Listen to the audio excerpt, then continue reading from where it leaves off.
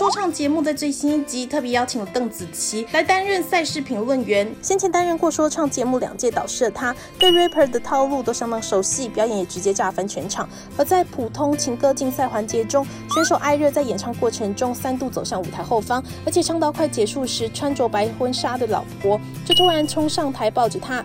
老婆将手上的捧花丢向后头，活生生在舞台上演出浪漫结婚场景，让现场充满许多粉红泡泡。邓紫棋看完表演也哀怨表示，为什么都没有男生写歌给她？从小到大都是她写给别人。她看了表演就在想，为什么都没有人为她营造这样的舞台，为她写这样的歌？更开玩笑表示自己非常羡慕嫉妒恨啊。